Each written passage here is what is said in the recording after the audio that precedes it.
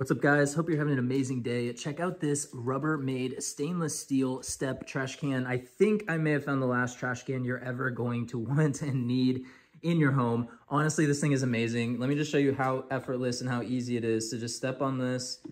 So clean, so easy. There's so much space in this trash can and check out the slow close. That's just beautiful. Let's just do an instant replay of that.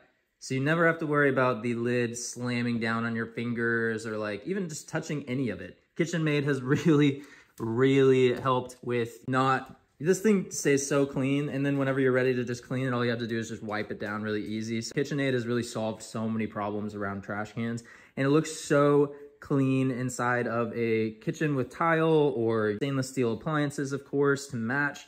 Looks fantastic. This would fit underneath a cabinet.